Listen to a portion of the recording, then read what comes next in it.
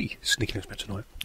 Tonight we're going to have a look at the Firefox 4 pre-build, or a testing Firefox 4, just to see how it's getting on and what it's like. And I'll show you how to do it. Basically, I'll show you on Firefox, my main one here.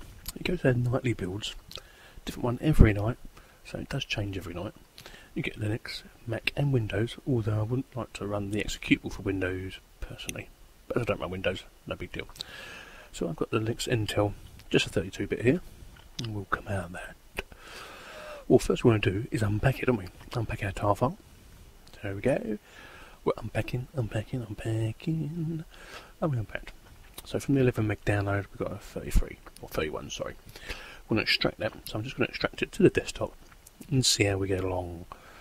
Takes a little while. Quite an old machine I'm using tonight. I'm not going to show the files, I'm just going to close because I know where the files are going on my desktop. Okay. I want to move it up there, but I don't want to go. I want to move up there, but I don't want to go.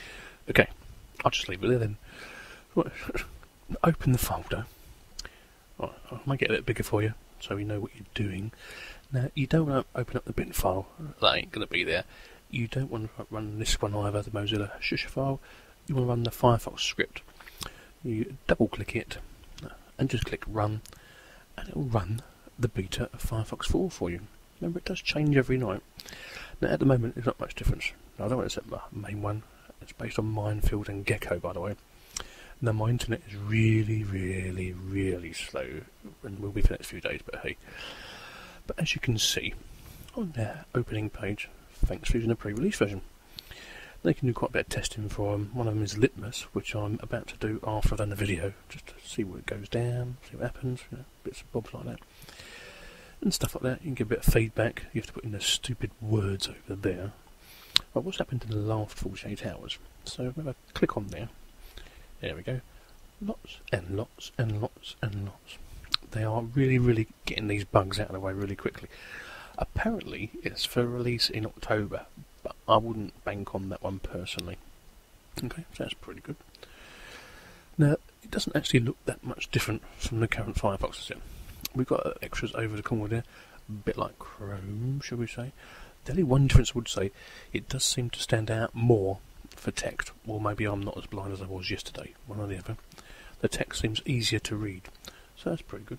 Not too bad at all. But good to help. Uh, about Minefield, as it's Minefield. As you can see, the version I'm using it's uh, X11 Linux 666, a pre is a Gecko Minefield, and a pre-build. Get your credits. If you leave that running, it'll just scroll down loads of credits. I'm not going to do that for you because I can't be back to be honest with you. But the tab looks different, slightly different. There's not a lot gone on too much, but remember we're in pre-stage here. It's not even beta or alpha even really. Nothing different in preferences either. I'll click on there. It's all pretty Mm, samey at the moment. But hey, this is the idea of having a pre. You can have a good look at what's going down.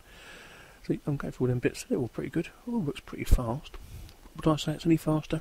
I can't actually tell at the moment. I'm troubleshooting. You can go over and do a bit of troubleshooting yourself, but you can do it yourself. It's so easy to download and run. Just give it a go and see what you think. Remember, the builds change every night. So one night you might be lucky and get a good change. But hey, on the whole, it's not too bad.